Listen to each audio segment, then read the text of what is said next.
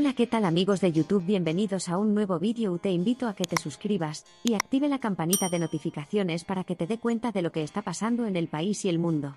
Nos acaban de informar que un reconocido hombre del pueblo de Maimón, en Bonao, identificado como Pilo Pran Pran, falleció la noche de este domingo cuando recibió varias heridas de arma de fuego de un hombre solo conocido como el Rubio por problemas personales según se informó.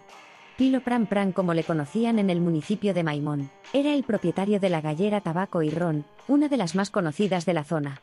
Luego de producirse el incidente en la zona conocida como las Cuatro Esquinas, siendo el centro del pueblo, fue llevado a un centro de salud privado en Bonao, donde finalmente se dio a conocer la noticia de que este ya no tenía signos vitales. En redes sociales, hay varias imágenes y fotos donde lo muestra tan solo minutos antes del ataque celebrando y compartiendo con amigos cercanos, además de una foto del supuesto atacante a quien solo se le pudo identificar como el rubio. Por otro lado, nos llega una noticia de sucesos que está actualmente en desarrollo, tras producirse un aparatoso accidente de tránsito ocurrido durante la mañana de este domingo en la comunidad La Guama, en la entrada San Francisco de Macorís.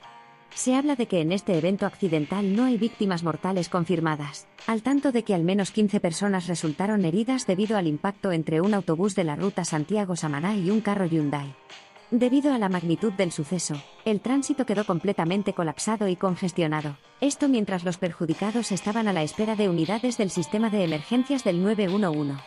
Al lugar del hecho se presentó también una unidad del cuerpo de bomberos para atender la situación originada por causas aún no determinadas.